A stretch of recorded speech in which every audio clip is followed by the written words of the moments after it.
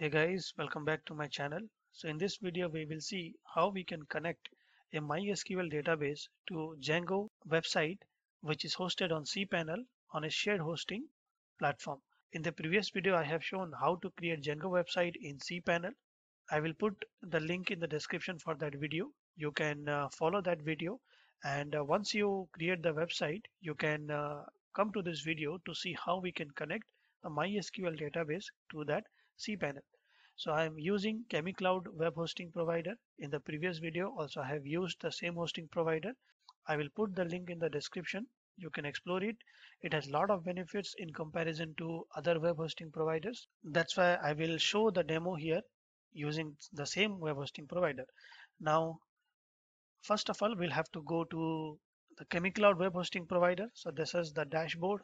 Let me just uh, refresh it and uh, we will have to go to the cPanel here because most of the things that we will do it will be on cPanel. So first of all we'll have to see what are the Python applications that we have. For that go a little bit down and uh, click on setup Python app under software section. Here you, you will be able to see all the Python application that we have hosted. So in the previous video I have uh, shown how to create this web application Django on cPanel as a demo. So we will use the same website to connect the MySQL database. Now, first thing we'll have to do here is that create a database here. So for that, go back to the main homepage of cPanel, go a little bit down and you will find database section and under that you will find MySQL database wizard. So click on it. First thing we'll have to create a database. So just give a name here. I will just give it uh, Django and uh, click on next step. Here we will have to create a username. I will use the same name that is Django for the username. We'll have to give a strong password here. So I have given the password here and uh, we'll have to repeat the password create user now we'll have to give uh, the privileges. Just select on all privileges. So it will give all kind of permissions to this user to that uh, database. Now click on uh, make changes. And once you do the make changes the task is completed.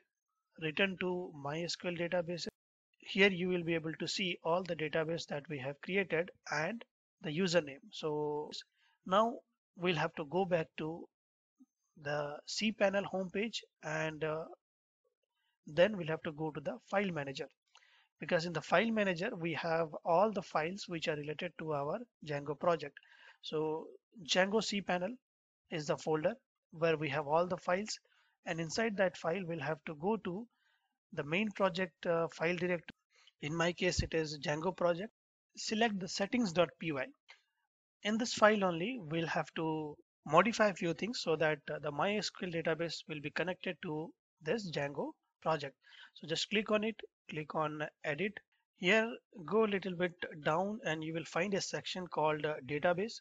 So the by default the database uh, is configured to connect with SQLite uh, 3 but we want MySQL database. So what we will do we will just hash it out and now you will have to type uh, all the lines that I have just pasted here so don't worry i will give this section in the comment section as well. You can copy it from the sorry in the description section and uh, just paste it.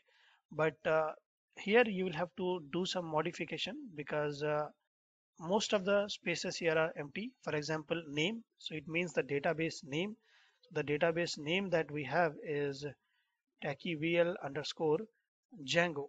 I believe the username also it's the same.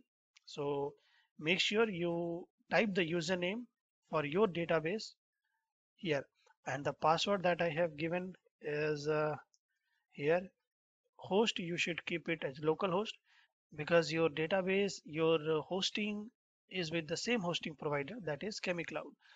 Now we are done with the settings.py file.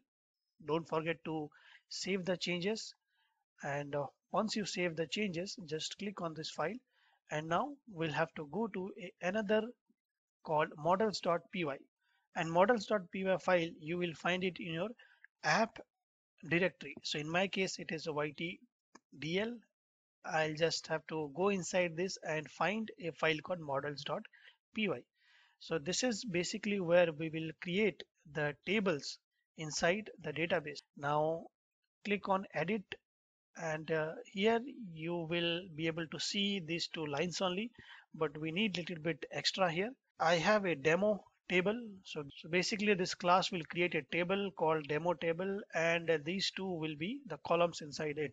Now in your case it may not be the same. You will have to create lot of uh, tables based on your project requirements and uh, then you will have to click on save changes. Now once you do it you can close this file and go back to the main cpanel and uh, under the database sections you will go to my php admin.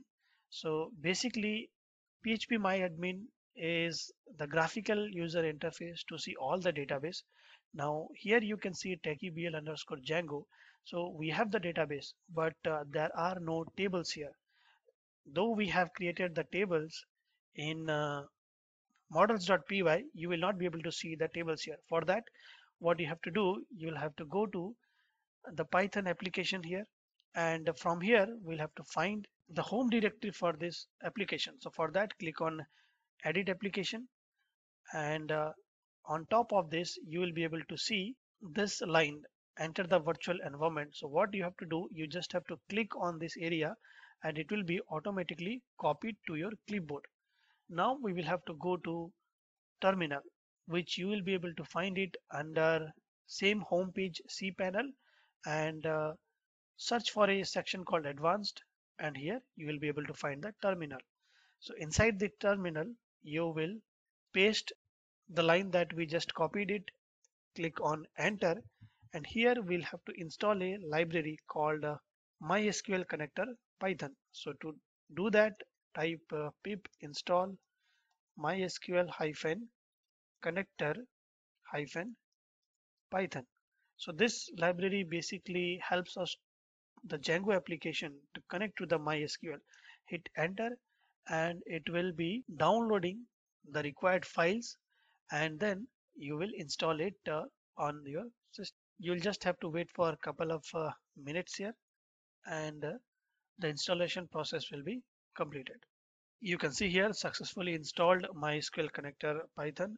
So now you will have to do two more steps here like uh, or you have to execute two more command but before that just uh, uh, list out the files that you find it here.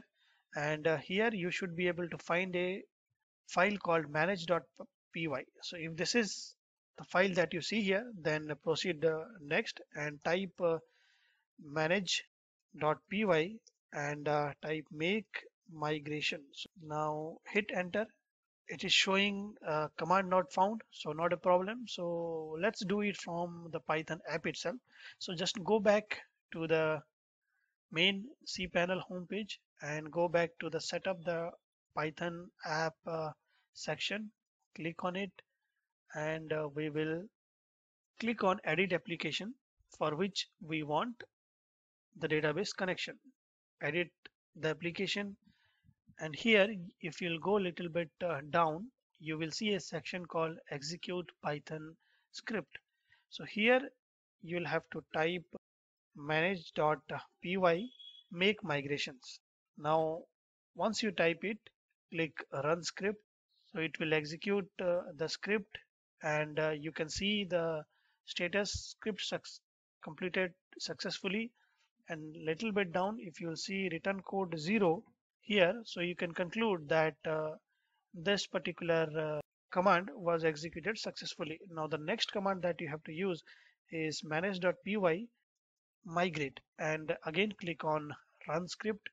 So basically these two commands will create all the database by referring the file called models.py now both the commands has been uh, successfully executed now you go to your cpanel homepage and again go to php myadmin now here now we should be able to see many tables are created under the database called techybl.django. So the demo.table is the one that we created in our models.py file. So this is the process to connect your MySQL database to your uh, Django web application which is hosted on cPanel or shared hosting. So let me know if you have any question in the comment section and don't forget to subscribe to my channel and hit the bell icon to get notification from my channel.